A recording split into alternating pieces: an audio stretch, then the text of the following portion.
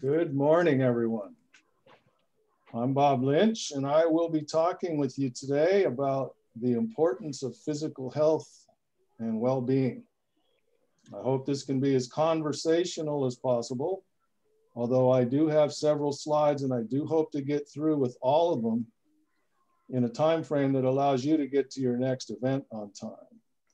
If I could ask you to please mute yourself unless you are speaking and if you could please enter any questions or comments in the chat, I would appreciate it. I'm going to do my best to adhere to this agenda. All right. So for the next couple minutes, well, I guess that's now.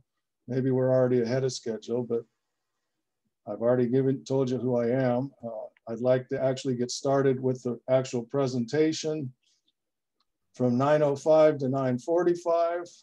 And at the end, uh, it says Q&A, but that includes a quiz and questions and answers. And I'll try to stop and if there's any questions along the way so I don't uh, just keep talking.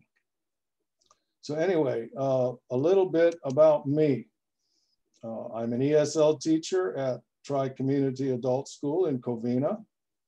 Before teaching adults, I taught middle and high school English, and this is my fourth year in adult education. It's my calling. I love it, and I hope to continue doing it for many years to come. In order to do that, as a 66 year old man, although health has been a major concern of mine for many years, my health becomes more important with each passing year. I'm not the only educator in my family. I have a sister-in-law who's a teacher and a sister who's a retired teacher. And my late father was a teacher. He was a member of the school board during the 1970s in the district where I teach now. Uh, that's my dad. It's got some writing from, it's from my high school yearbook and somebody wrote that. But that was my dad with the entire school board. Uh, I think that was the year of 1971 and this was a year or two later. Um, in any case, I can't think of anything that's more important than someone's health. From what I've read and what I believe, our bodies are designed to last 120 to 140 years. Many people die well short of that because of how they live.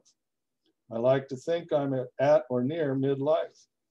Although the title of this presentation is the importance of physical health and well-being, I believe there are several factors that contribute to that. I'd like to share with you some of my beliefs, experiences, and best practices. You shouldn't have to pay extra money to be healthy, although sadly there are times we must. I believe the price we pay for our health should be paid in time, effort, and energy we put forth in living a healthy life. In a nutshell, good health and well-being boil down to two main ingredients, diet and exercise. Thanks for attending. Have a good day. No, I'm just kidding. Just kidding. But seriously, I think one of the most important factors, if not the most important factor or key to good health and well-being is to take charge and control of our lives as much as possible. Uh, it's not always it's not always possible, but I believe it's something we all need to do. I'll make a suggestion. If you've never read the book, The Seven Habits of Highly Effective People, I highly recommend it. It changed the way I look at life. Before I begin, let me make myself clear. I'm not a doctor or a scientist. I'm not certified as a nutritionist or health expert in any way. I'm not a personal trainer. I'm just a guy who places health as my highest priority. What has worked and does work for me may or may not work for you, and vice versa. I don't smoke anything, drink alcohol, coffee, or soda, and I don't use drugs at all. However, I grew up in the 60s and 70s. That's all I need to say about that. I don't drink coffee, but I do drink tea, especially green tea, and I drink a lot of water, particularly carbonated water. I suggest that you do your own research and decide for yourself what's best for you.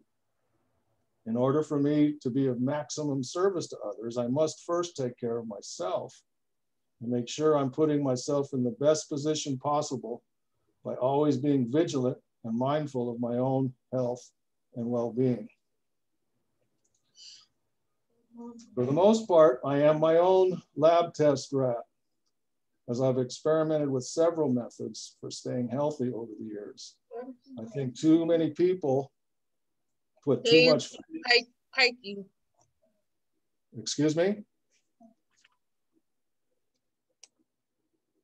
I, I thought I heard somebody say something. I think too many people put too much faith and trust in the medical community. I'm not knocking the medical medical community. I visit my doctor at least annually for a complete physical and I confide in doctors when necessary. However, the bottom line is I'm responsible for my own health and well-being. I like to think of the medical community as my partner, although I like to think of myself as the majority partner. For the record, I had my annual physical November 4th. Everything looks good but my LDL cholesterol was two points over what's considered normal, and my iron level was four points lower than where it should be. I will do what is necessary uh, to correct these two abnormalities. I have a master's degree in educational foundations from Cal State Los Angeles. My master's thesis was the lack of focus on good health and nutrition in education. In other words, this is a subject that has had my interest for a very long time. One thing I can say with relative certainty is we're all different and there is not necessarily a one size fits all when it comes to good health. Although I believe there are some common denominators. Um, all right. There are eight main points I'd like to focus on in this presentation, which are principles and cornerstones of my life their honesty, respect, best effort, food, fitness, fulfillment, and fun. As we proceed in this presentation, I hope you will see how all of these principles and factors interrelate with one another and that they're not mutually exclusive. I'd like to start with something a little fun. It's uh, it, it's a video. If you're old enough to remember the Ed Sullivan show, uh, you might remember this, and it's kind of uh, uh, metaphorical for my life and maybe yours too. So let's enjoy this three minute video. I hope it loads quickly here. Uh, Try it this way. No.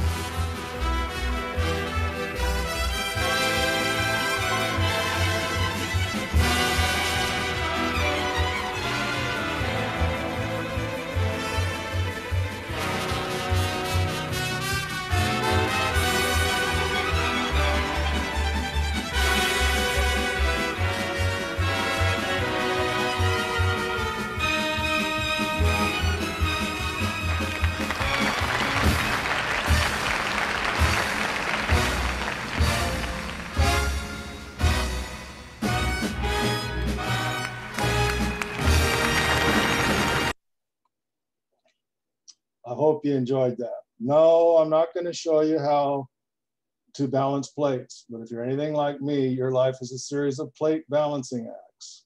The question I have for you is how important is your health to you? The guy in the video had to be in pretty good health to be able to do what he did. Our health and well-being may be the most skillful balancing act we do in life.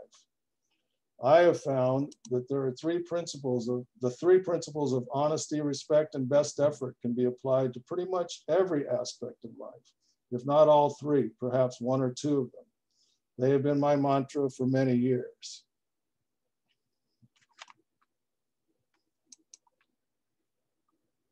Um, I'm sorry, a little bit of technical difficulty here. All right, so be honest with yourself which means you don't always know the truth, but are willing to learn through honest mistakes.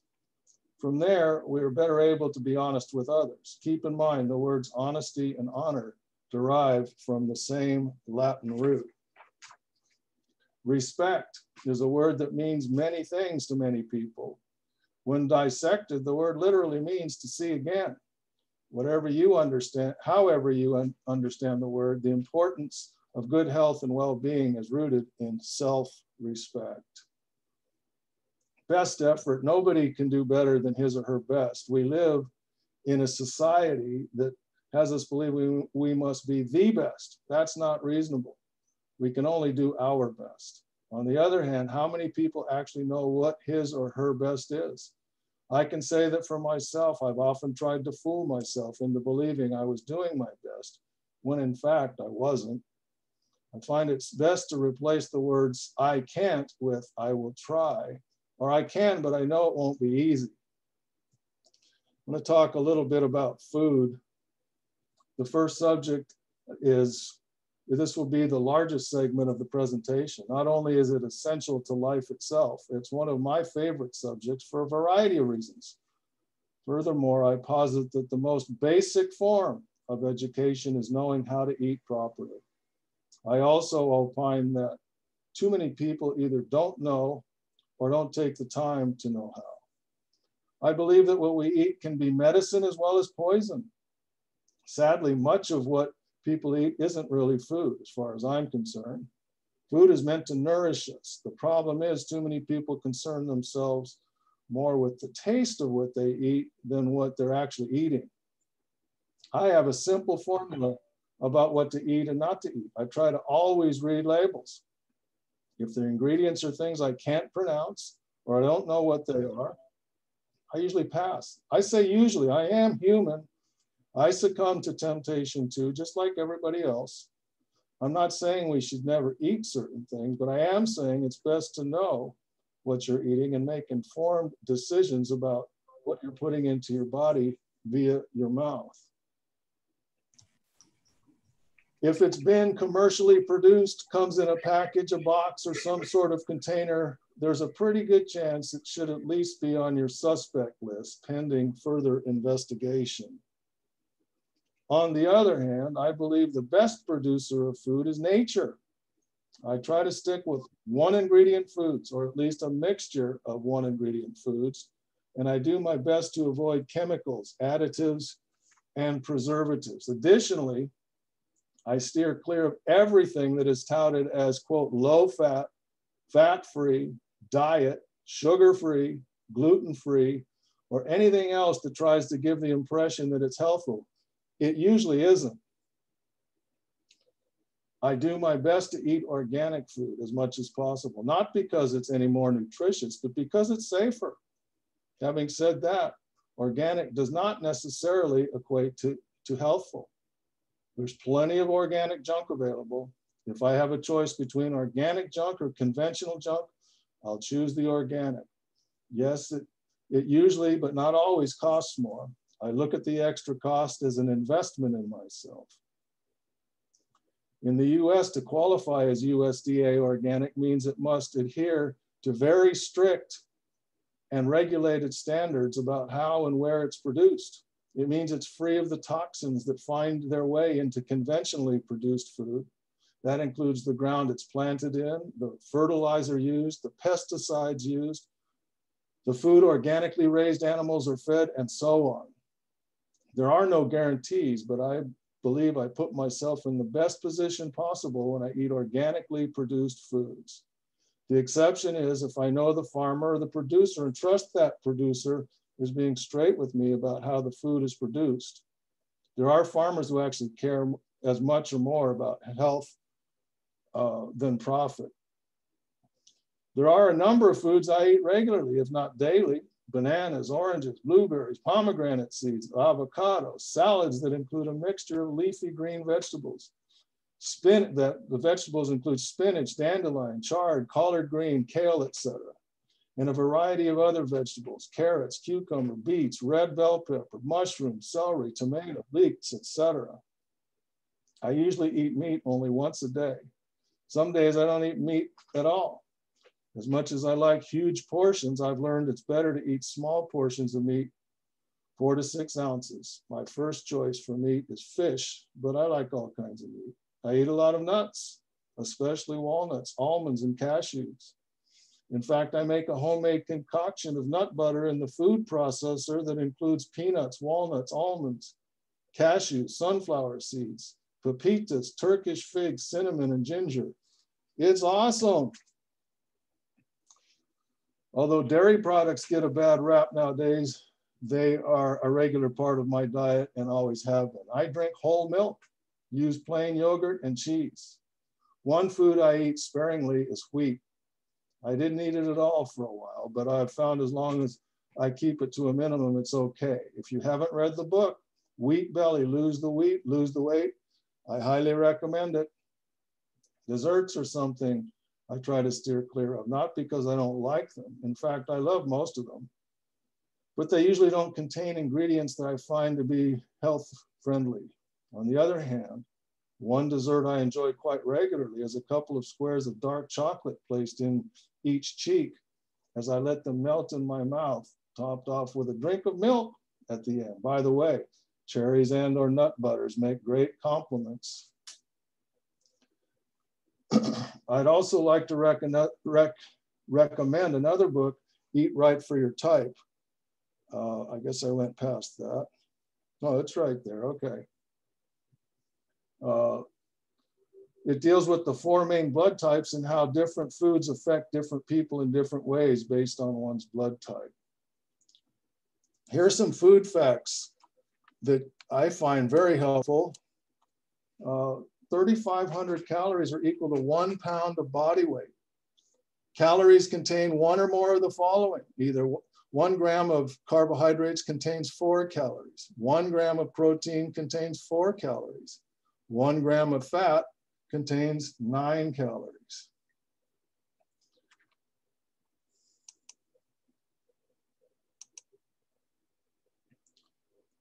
We need all three in a balanced diet. Don't cut any of them out. Be mindful of what you're eating. My rule of thumb, it's just my rule of thumb, is the 60, 30, 10 rule of thumb. 60% of your calories from carbs, 50 to 60% actually, 10 to 20% uh, of your calories from protein and 20 to 30% of your calories from fat is a good balance depending on one's lifestyle and how active they are, etc. Keep in mind, there are different kinds of carbs and fats. Carbs get a bad rap because people don't understand. There are two main categories of carbs, simple and complex. Simple carbs are sugar. Minimize simple carbs.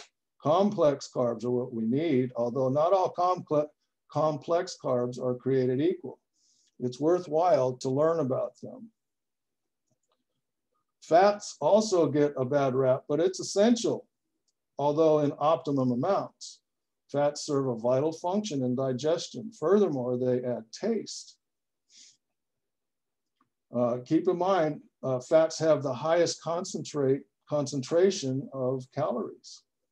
There are three basic groups of natural fats. They're saturated, unsaturated, and monosaturated.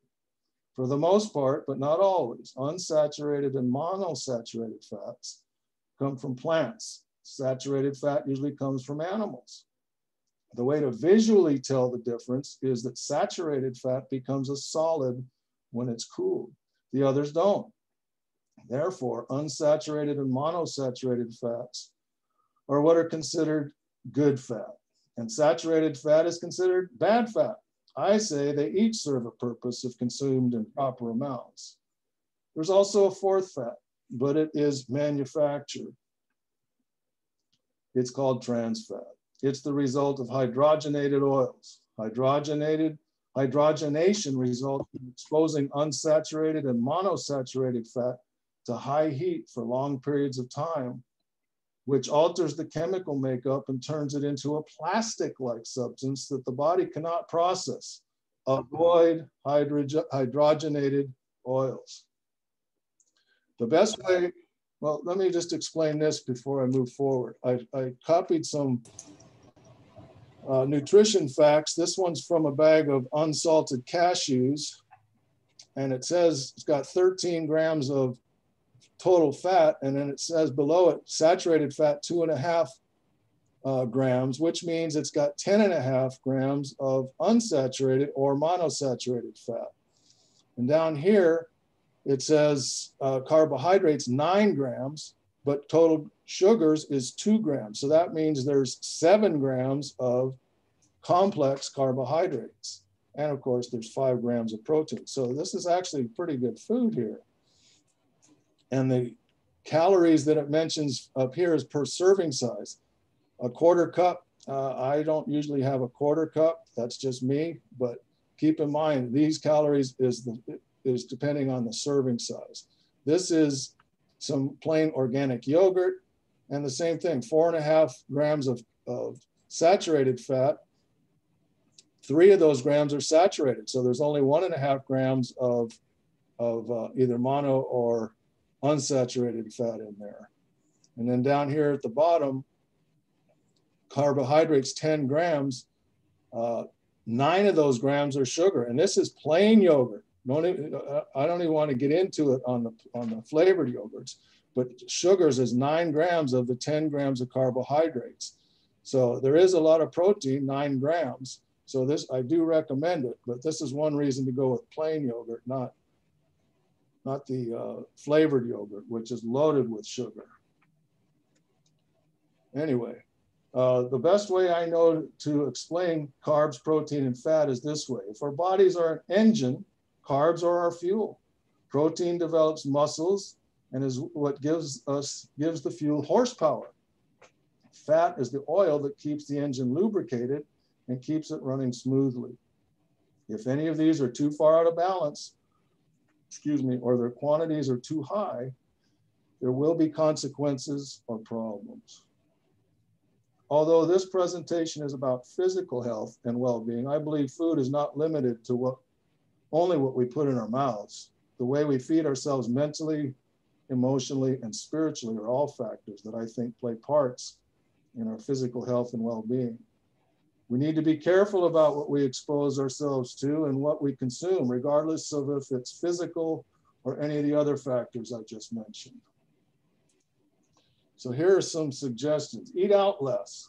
Restaurants are not required to reveal what's in their food. Eat in more often and know what ingredients you're consuming. Prepare your own meals. Learn to read and understand food labels. And if you don't already know how to cook, learn how.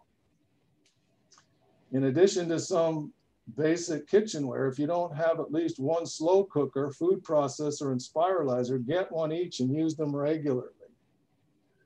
Get the most out of the calories you consume. Avoid empty calories and concentrate on consuming calories that are loaded with as many vitamins, minerals, and nutrients as possible. Learn to eat healthy food that agrees with your taste. It's not as difficult as you may think, although it does take time Stop making excuses for not eating well. Go ahead and splurge or cheat now and then. Enjoy it, but make eating healthy a priority at least 90% of the time. Establish a routine for when you eat.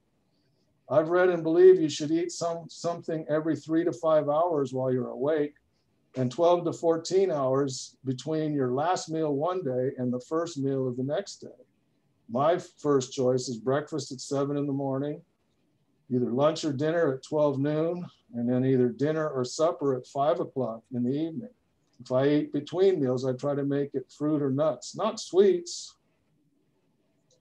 Um, I don't know if there's any, if I can take just a second, if we have some questions in the chat, I'd like to, Karen, can you help me here? Are yes, there... yes, Bob. The main question is how can participants obtain a copy of your um, PowerPoint presentation?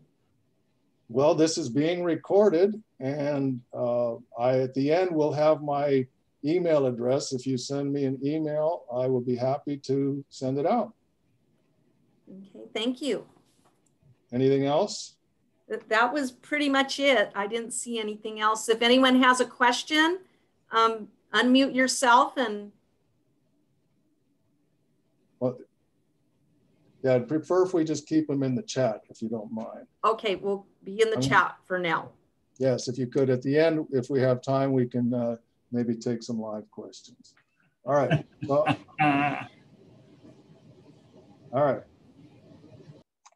So moving right along here. Like food, fitness is not limited to just physical, although for the purpose of this presentation, I'll focus on the physical. Food and fitness go hand in hand. I believe they coexist and that one without the other is not much better than worthless. The key to good health is fitness. In order to be as fit as possible, we need uh, we need to, to not only exercise, we need to also feed ourselves properly and effectively. Having said that, if breakfast is, breakfast is the most important meal of the day, I think it's best to exercise as early in the day as possible before the day crowds out reasons why I shouldn't give, shouldn't, and gives me time to make excuses. I like to do, just do it and be done with it. We need to exercise and move our bodies, but we also need rest. They're both important. It's important to know and pay attention to our limits and requirements.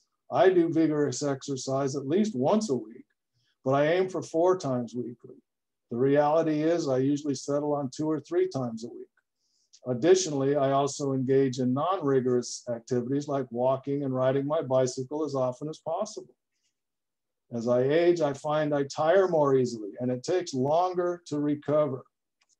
I require six to seven hours of sleep at night but do my best with eight hours. I also sneak in a nap whenever and wherever possible, even if it's only a few minutes. I'm amazed what a 20 to 30 minute cat nap does for me.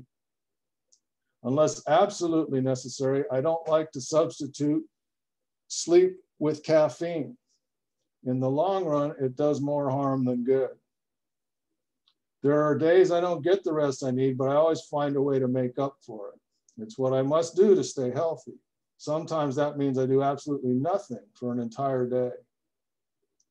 Did you know that we were born to run? I believe we are. If you haven't read the book Born to Run, I highly recommend it. It changed my outlook about running. I've been a jogger since 1978. I jog anywhere from 10 to 20 miles a week from two to six miles at a time. I completed a marathon in 2008 at age 54. Maybe I'll do another, but I don't have anything planned at the moment. I also work with some 20 pound dumbbells doing some basic lifts and curls, as well as 40 plus push-ups once or twice a week.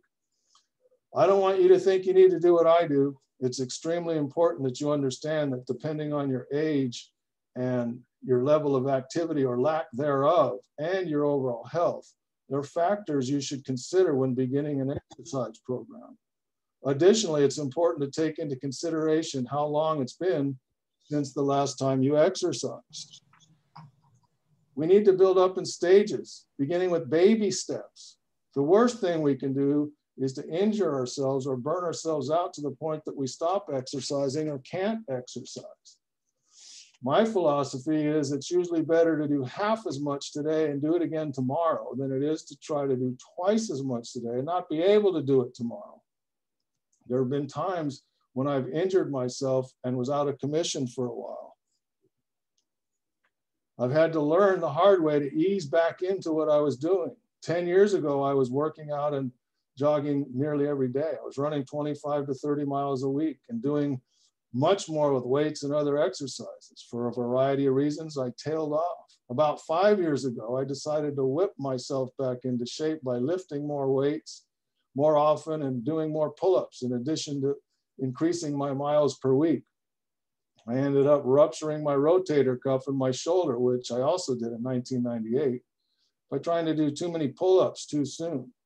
I no longer do pull-ups and have settled into the routine I mentioned above for me, even now, after running for more than 40 years and exercising for as long as I have, I want to increase my number. If I want to increase my number of miles, the time I spend working out, or anything more than what I normally do, I do it gradually and incrementally. Furthermore, I need to allow for the longer recovery time and at least initially be willing to go through the tiredness, etc., until I'm in shape and used to the increased activity. We can all improve, but we need to start somewhere. The best place to start is exactly where we are. Whatever we do is better than doing nothing at all. If you haven't exercised for a long time, if, or if you never exercised, I suggest you start by doing a quarter or a third of what you think you can do, even if that means walking or exercising for only one minute on the first day. Each day, try to expand or improve, even if it's only very slight increments. Whatever you do, don't try to do too much too soon. One of the reasons I jog and uh, and do exercises I do is because I do them, I can do them anywhere and anytime.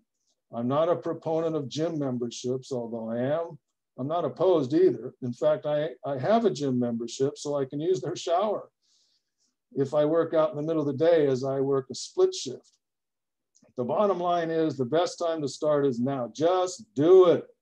Ever heard that one before? Find what works for you and make it part of your daily or weekly routine. Make it a way of life. Don't focus on trying to be perfect or to set reasonable goals. If you stick with it, you will see results, although maybe not your desired results in the time frame you'd like. It's about health. It's not about being on the cover of a magazine, etc. So I want to jump to another subject, finances. If your finances are not in order and you're constantly worried about money, it has a negative effect on your health. I've been there. We don't need to be millionaires. We need to live within our means. We need to take charge of and be in control of our finances as much as possible. As someone who's worked in the financial services business, my motto is plan your dreams, but be prepared for a nightmare. Financial health and well being are important important and integral factors of physical health and well-being. At least in my case, they are. It's not necessarily about making and having a lot of money, although who doesn't want that? I'm referring to having our finances in order, living within our means, not swimming or drowning in red ink and debt. For me, the only way I've been able to, to take and keep control of my finances is to keep track of every cent I take in and put out. I have a spreadsheet for every month that serves as a balance sheet for my finances. It allows me to forecast based on my history. It allows me to see exactly where I can cut if necessary.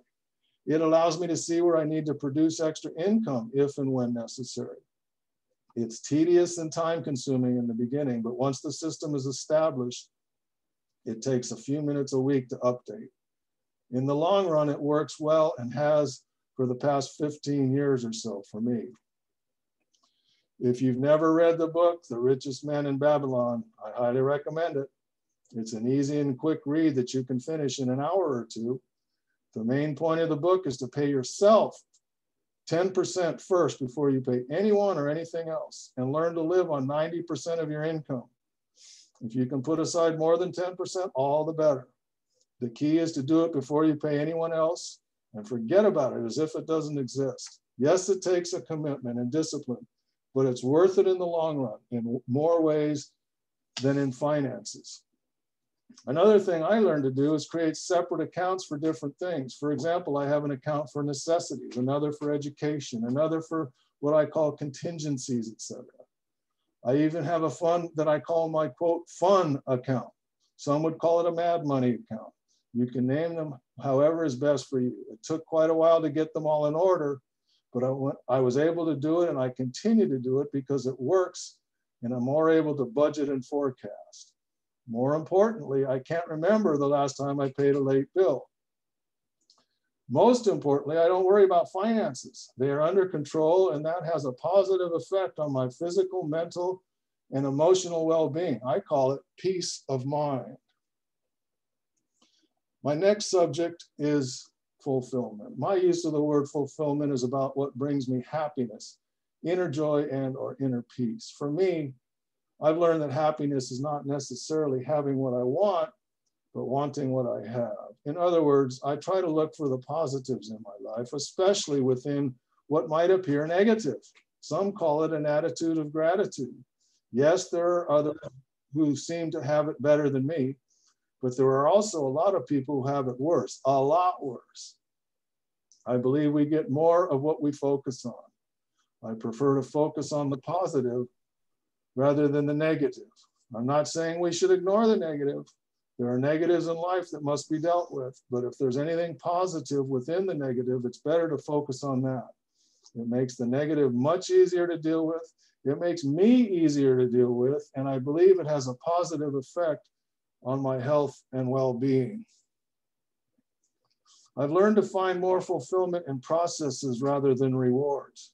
This allows me to create my own happiness from within rather than trying to rely on it. Uh, rely on it coming from the outside in. Setting goals for myself that seem insurmountable, creating a plan to accomplish it or them, then following the plan and accomplishing my goal, even if I don't accomplish it the way I hoped I would in the time frame I set. And if it doesn't look the way I expected and I don't receive the accolades I hoped, etc., I find fulfillment in doing what I set out to do. those are all great suggestions. I do like when I come here to this. I find I feel fulfilled by being fortunate to have found my niche. I guess we call it niche here as an adult education ESL teacher. It is truly my calling. The journey I took to find it makes it all the more fulfilling. And what I'm showing you here is a card that one of my classes gave me. Uh, these are beginning level ESL students. Their English is less than perfect, but the sentiment is there. And that brings me a lot of inner joy. That's fulfillment to me. I find it fulfilling to help others find fulfillment within themselves. Sometimes that can be as simple as a smile that I see on someone's face. As a teacher, this can happen when a student, quote, gets it, especially if it's something they struggle with and thought they couldn't do. Fall in love with the process. It's for fulfilling for me when someone I love or care about tells me they love me. It warms my heart every time my grandson calls me. I get emotional, calls me grandpa. We all have different definitions of what fun is. My definition is it's anything you like to do for no other reason than because you enjoy it. I found that I can incorporate fun into my life, especially if it's something I don't like or don't want to do. It makes my life more positive, manageable, and enjoyable. As long as what you consider fun is not harmful or disruptive to yourself and, your, and, and others, go for it as often as possible. It's better to enjoy fun with others who enjoy the same fun, but I can have fun by myself too. For example, I have an electronic backgammon game loaded on my computer. I'd rather play backgammon with somebody else, but I like to play. So if the computer is the only opponent available, that works for me. I like to laugh. It's healthy and, and it's fun. It's more fulfilling when we can enjoy a good laugh with others. I've been known to crack myself up for no apparent reason. I like to cook. This is some pizzas that I made by myself. This is some homemade ice cream down here. It's fun to invent new ways of preparing food. I find jogging in places I've never jogged before. I find fun in that. I try to make my lesson plans as fun as possible. I've had fun with this presentation. I hope you have too. I could go on and on about fun. We all have different ideas about what fun is. The important thing to remember is it's good for our overall health and well-being. We should have as much fun as possible. So here's my conclusion. Physical health and well-being are obviously important if you want to stay alive. You're the only one who can answer the question about how important it is for yourself. As stated, it's my number one priority. Physical health and well-being are not independent concepts. They work in conjunction with our mental, emotional, financial, and spiritual health, among other things. The physical is what we what can be seen, but what can't be seen is just as important, if not more important. Our physical appearance is an indicator of our physical fitness and well-being, but that is not what's most important the appearance is secondary to the reality of the situation. We must be honest with and respectful of ourselves and commit to giving it, giving our best effort. It really is as simple as that. Although it doesn't mean it's easy, it's not easy. Spend the time, effort, and energy required. It's well worth it. All right. Uh, I do have a game I'd like to play, which is a, quiz based on what we just talked about. If there's any questions, Karen, are there any questions we can address before we move on here? Yeah, Bob, just a couple of comments. Actually, um, Susanna Ramirez was asking about some healthy recipes, and it looks like you have some good ones there from those photos. I, uh, I don't cook from a cookbook. I steal recipes from a, a, a, variety of places, and most of them are in my head, but I'm happy to share uh, my own version of what we will call a recipe with anybody who's interested, sure. Thank you. And then Kathy Blower also um, commented on your um, exercise and how we balance that as we age. She said that's very good advice. Okay, well, Thank you, Kathy Blower. A biased opinion. Kathy Blower is my sister. So thank you, sis. Is there anything else? That was all I could see. Thank okay. you. Um, if you'd like to play, please go to, to this address, https kahoot.it. I'm going to go to a different place and I'm going to, and I'll give you a pin to enter, but you enter your name, any name. It doesn't have to be your real name and I'll give you the pin. There's 10 questions. We should be done with this in just a few minutes. So I'm going to Kahoot right now. If you could go to this address, I'll, I'll meet you on the other side.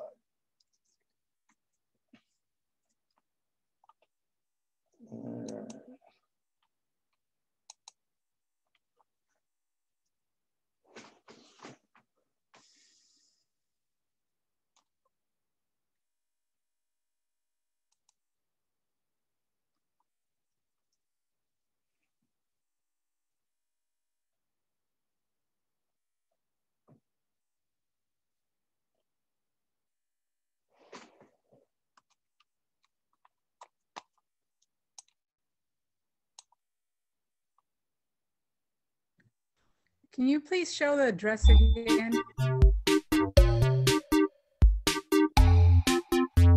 I'm sorry, somebody said something. If you're asking for the address where I we're gonna play, it's at the top, right here. And you're gonna enter this game pin and a name. I'll wait a couple minutes for players and then we'll start.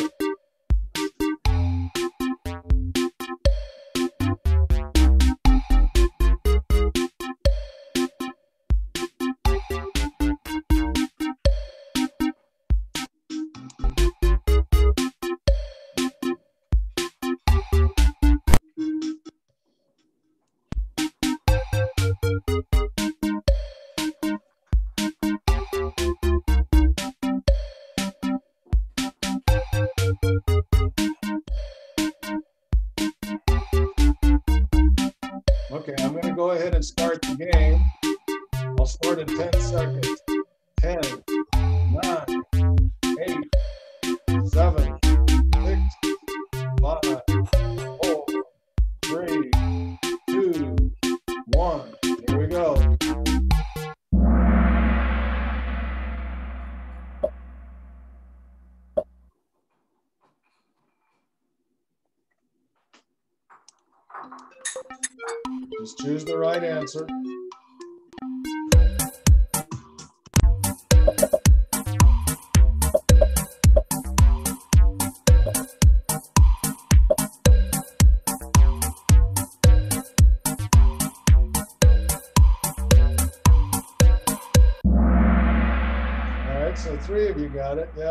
Community Adult School. That's where you'll find me.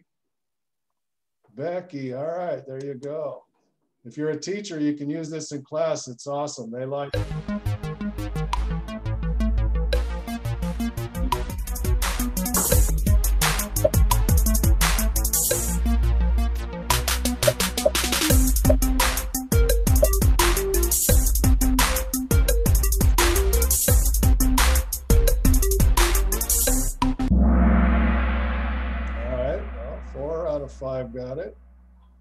Yeah, you shouldn't have to pay extra as far as I'm concerned.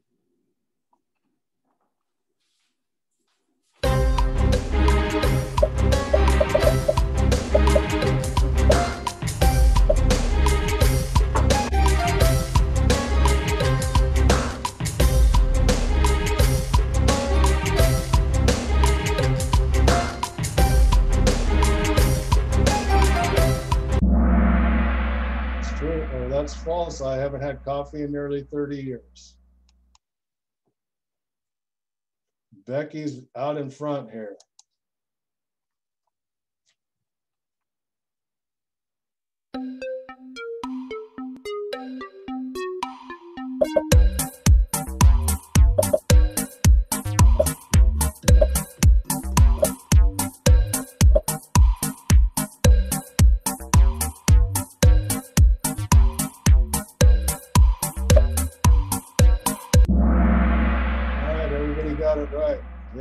I believe it's the most basic form of education.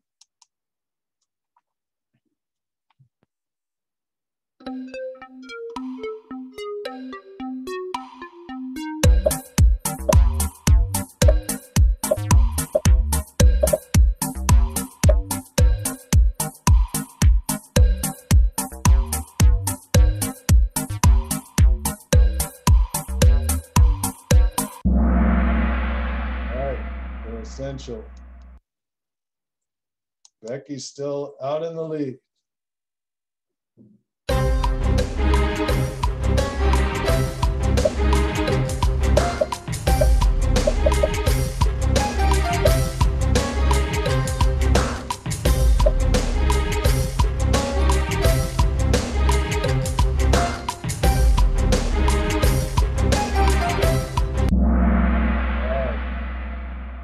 Nature.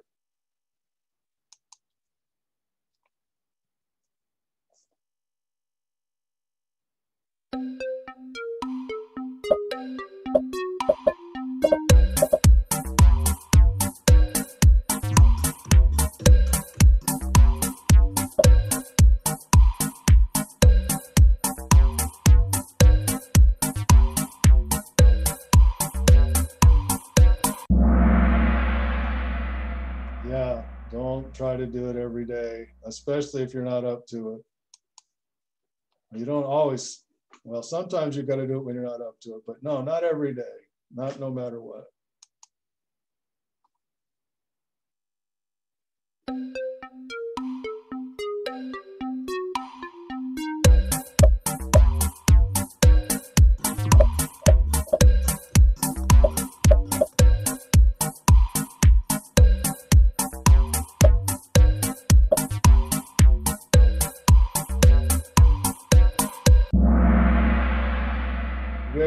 Finances, fulfillment, and fun. My five F's.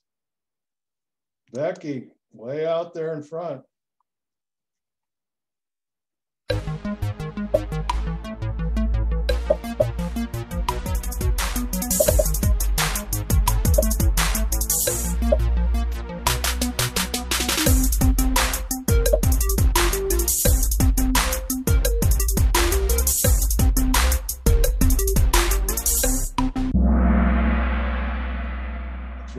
Much as you can. Oh, Erica takes the lead.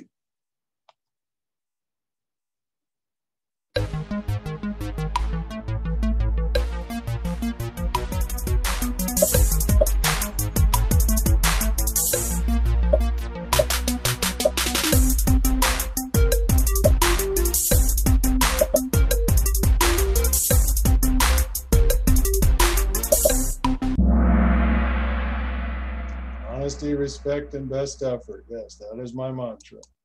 All right, and the winner is Erica. Well, we got a tie. Erica got the most points, but Erica, Olivia, and Becky, good job, all three of you.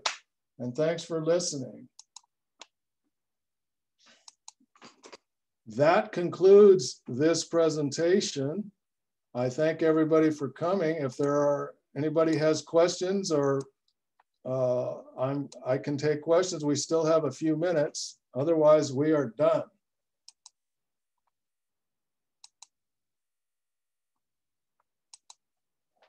I don't hear any questions.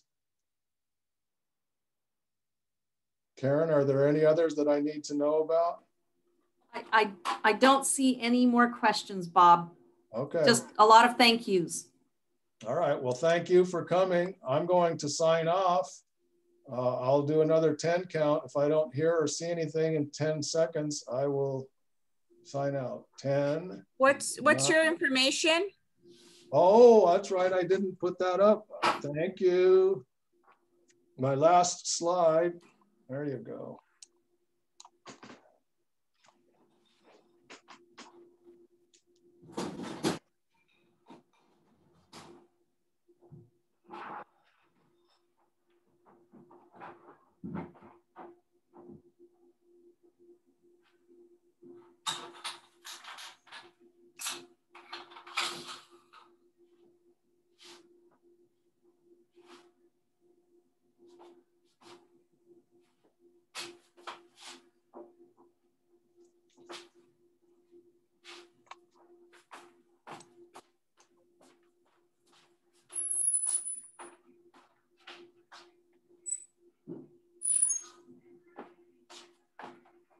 So Bob, I'm going to stop the recording. Is that okay? That's fine. All right.